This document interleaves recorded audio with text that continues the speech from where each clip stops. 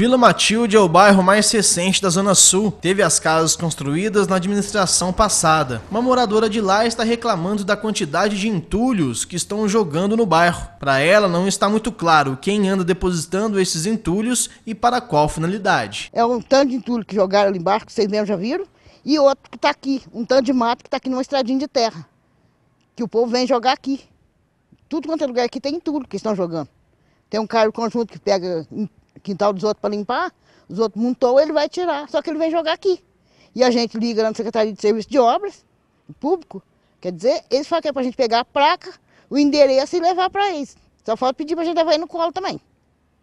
Então a gente está precisando que a prefeitura tome providência. No final do bairro tem uma estrada de terra. A dona Maria diz que é comum ter pessoas jogando lixo ali. Fazer denúncias nos órgãos públicos não está resolvendo. Ali está uma tristeza. E ali atrás também, na estradinha de terra também. A, minha, a moça da esquina ali, da, da, da casa de baixo para cima, sexta-feira passada, chamou a polícia porque o povo tinha uns 10 carros ali na estradinha de terra, não deixou ninguém dormir, ela ligou para a polícia, a polícia também não veio.